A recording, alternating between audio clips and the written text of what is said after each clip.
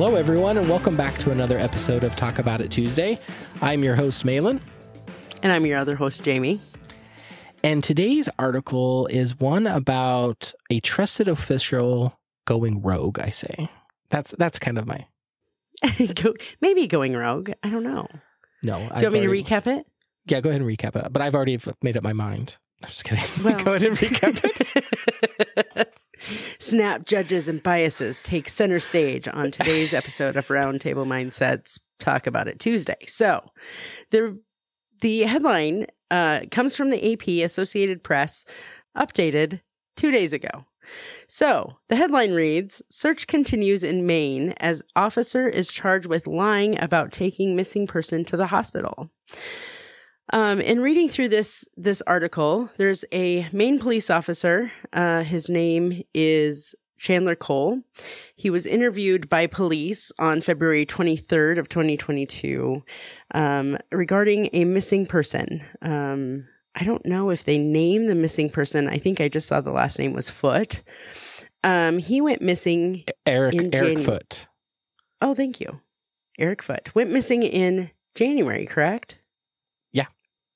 Yeah. So the officers charged in uh, with several co- crimes that include falsifying a report where he claimed that he was taking the missing person to the hospital, um, he was also charged with aggra- aggravated forgery, tampering with public records or information, and falsifying physical ev- evidence and unsworn falsification, according to court records. He was just arrested on March 29th, and he will not make comment. He has said no comment uh, when he was reached by the Associated Press.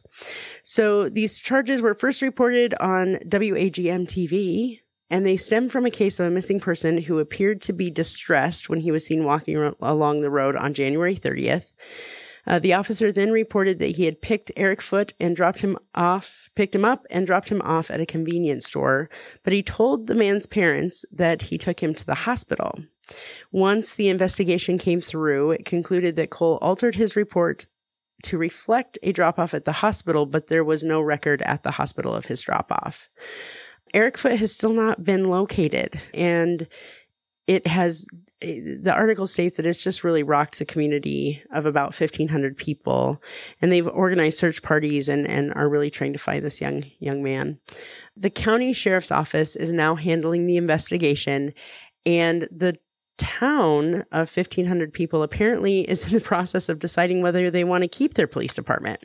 The chief retired in January 30, uh, January 31st and with this gentleman resigning, there's really no other police officers there. So the sheriff's office is providing coverage while the town is without police coverage. So, so this is, I, I mean, there's a missing person, there's a lying police officer, according to reports. And I guess my question is, is why? Well, so now we have in the last couple years, I don't know about you, but I've seen a lot of news articles about people, young people, college age people, um, walking down the street and never being seen again. I think there's a, a there's a case right now. Is it in Missouri, Kansas City, Missouri? I think where the person was seen leaving a bar and they they saw him stumbling across and they can follow him throughout the city for a little bit and then he just disappears. I would almost chalk this story up, even though that's tragic and that's not something to just gloss over. But I would try, I would cha- uh, chalk this article up to something similar if it wasn't for the fact that the police officer lied and unnecessarily. If this police officer didn't have anything to do with the case or the missing person, why would you willingly tell the the parent something that can be easily credited or discredited?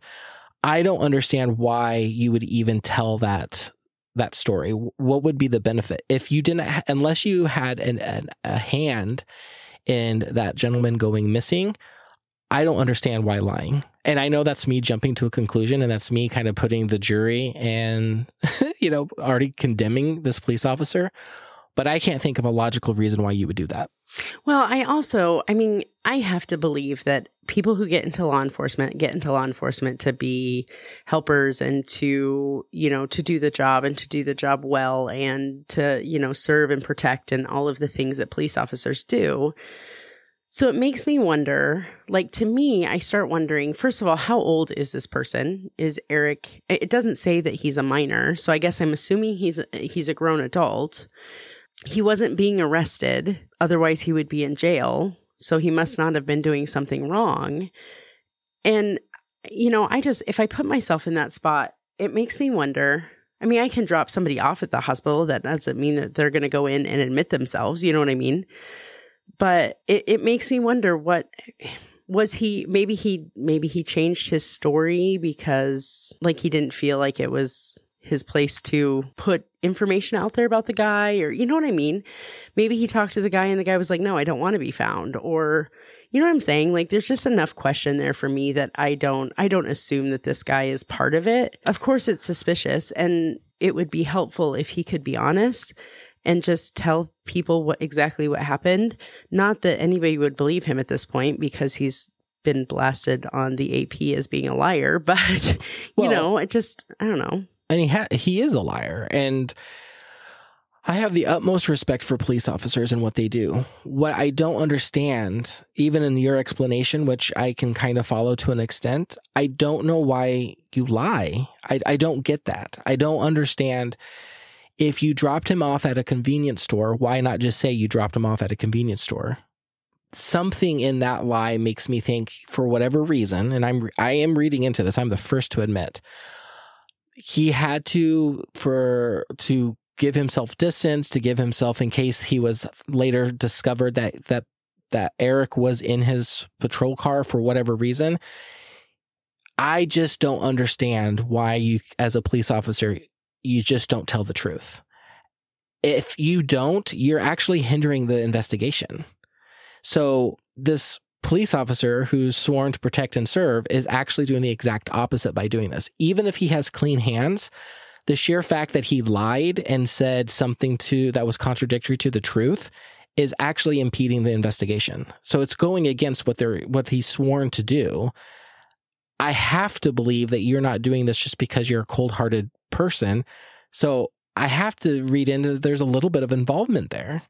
I just I just don't know what the involvement is. Am I am I ready to say that he kidnapped Eric, that he did something to Eric? No. Could that be a possibility? What happens if he accidentally hit Eric? I, and I'm I'm I'm really reaching here, but I'm saying there has to be a level of involvement cuz why would you do that? Why would you like lie to the parents of what you did with their child and I did look it up. I know we don't go outside of the article very often, but I was curious. He was 39 years old when he went missing. Well, see, and so to me, you know, that's and that's where there's enough question for me to say, did he file a report and and rethink back to what his conversation with this guy was? And as a grown adult, I have the right to disappear if I want to. It's not illegal for me to disappear and not be in any contact with my family. Is it nice? No. like it's kind of crappy and I wouldn't do that. But at the same time, you know, it makes me wonder if Eric doesn't want to be found. And if that's the case, you know, maybe he really struggled with what to do in that space. I don't know if I don't know what the rules are because I'm not a police officer. I don't know if you are required to file a report for every interaction you have with a human being or, you know, something like that. But I have to, I mean, I have to believe that the people that are in uniform protecting citizens are doing it for the right reasons and and are exceptional human beings and i i can't imagine I don't know. I guess I hope. I really hope that I can have enough of an open mind to say there's not there's not enough in this article for me to believe that the man is guilty of anything other than maybe some really dumb choices when it comes to paperwork. And, you know, I I hope I hope Eric is out there safe on his own accord and doing doing as he chooses to do. And lots of lots of sympathy for the family, but my goodness, I just I can't. There's not enough here for me to lambast the guy and even calling him a liar in the thing is kind of I don't know. It just kind of bothers me because he hasn't been convicted of anything, or you know what I mean. Like it feels pretty opinionated, in my opinion. Well, he was um, he resigned after being charged with aggravated forgery, tampering with public records of information, and falsifying physical evidence and unsworn falsifications.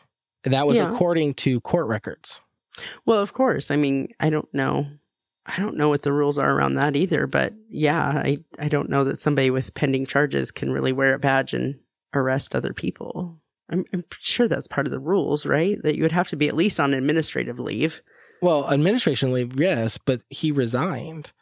Well, there's no chief. it was Well, just there's him. no police officers at all. right, exactly. So, who's there to put him on administrative leave? I, I don't even know. That's kind of a crazy situation, too.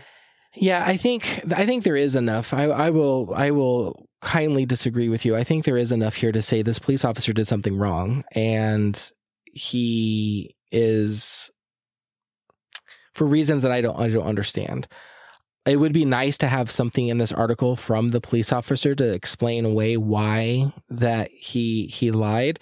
But reading just this article, I would say there is enough for me to say he did something wrong and I I want to know why. It, nowhere does it say that he said that it was a, an, an accident. Even the people that did the investigation is not saying that this was misfiling of paperwork. That there is enough here that they believe that he did some wrongdoing, even if that wrongdoing is falsifying records or evidence, and and that's enough for me to start asking the questions at least to understand why did that take place. I hope Eric's doing well too. But my question isn't around this article isn't around is a grown man choosing to stay away from his family. My question is why is there a police officer lying and falsifying records of a person who went missing Yeah, to be fair, I think it also I can also look at it at the same time and say, okay, if that was the case, let's say let's say he picked Eric up and Eric was like, dude, no, I'm not going back there. I am trying to disappear. Um why wouldn't he just say that, I guess? You know, why wouldn't he just say that? So I I can I can see it from that perspective too. Um you know me, I just have to I have to give the benefit of the doubt as much as I oh. can cuz and i am too. Yeah. i'm not here saying that he did something to eric yet and i say the word yet because i can't get there with this article. But i there's enough in here that i'm like if he's not under a microscope he should be because that's weird. That's weird to to have that kind of slipping of the mind or f- putting the wrong thing on on a document especially in a town of 1500 so you know coming from a small town myself that was almost 3 times that size there's a lot of time there's not big happenings going on in the police station. So i can only imagine with the 1500 community this would be a like a once in a i don't know how many people go missing in that community but let's say once a month kind of ordeal so you would think that your paperwork would be tip top there would be all the accounts would be there Well, here's what I was thinking though, and and where I was coming from is I kind of feel like this poor guy is is the only police officer. He has no leadership, he has no supervision, he has no one to be able to run by. You know, I I imagine policing would bring up cases where there might be some moral dilemma, some difficult decisions that might need to be made. And and he had no one to go through that with. Like he had no one to bounce those things off of and say hey this is what i experienced. I'm not sure what to do with it and to get guidance in that.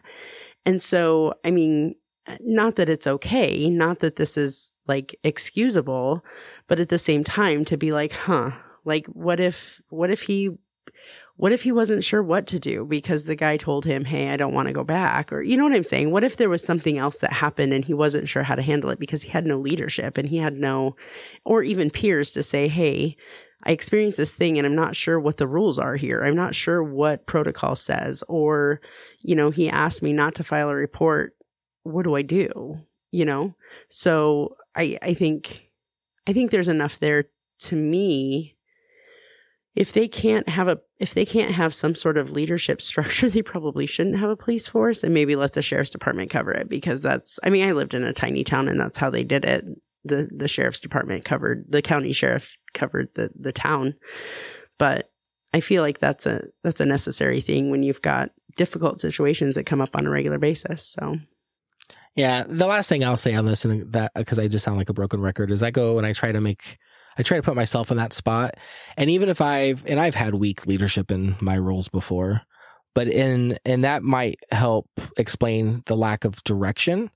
But the work that I do, I still do with integrity, and there's never been a time with weak leadership Yeah. or strong leadership have I ever just falsified or lied on the documents because I didn't have a strong leader base. So that's just what I keep going back to.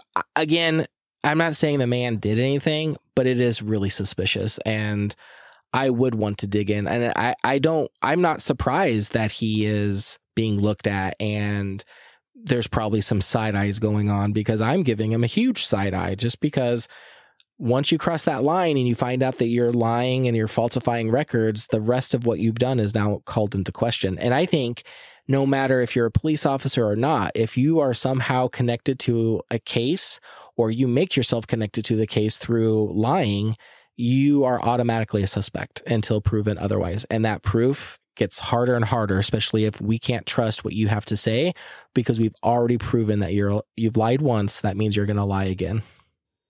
So that's where I said. Well, to be fair, before we before we sign off and and I uh, let it let sleeping dogs lie, I do think it is important to remember that they the article did repeatedly talk about alleged um, crimes or alleged things. So he he's just been charged with these with these uh, crimes. He's not been convicted. So um, he is innocent until proven guilty, and that's the beauty of our justice system. So, Yet he hasn't been convicted yet, but it's coming for you. I'm kidding. Possibly. Everyone, get your vigilante out. Let's go. Woo woo. I'm just because because Malin has so much to say about laws in some podunk town in Maine. Well, I think a law that should apply across the board. Anyways, I've said my piece. You've said your piece. We both agree that I'm. I We both agree that I'm right. So okay. I didn't hear that at all. That's, but good that's luck. funny because that's what translated in my earpiece. No, I'm kidding. Okay. Thank you, everybody, for listening to another episode of Taco-Bout It Tuesday. We will be back next week with a whole new article and a whole set, new set of opinions. And don't forget to join us on Thursday for a regular episode of Roundtable Mindset. We will bring a whole new set of, I don't know, ideas and perspectives. And, you know, we'll just do the thing that we always do on Thursdays, and that's just grow and learn, right? Have some fun. Yes, yes. All right. Well, thanks for bringing the article, Malin. Yeah. Thanks for recapping it. Uh, we will see you again next week. Bye, everyone. Bye bye.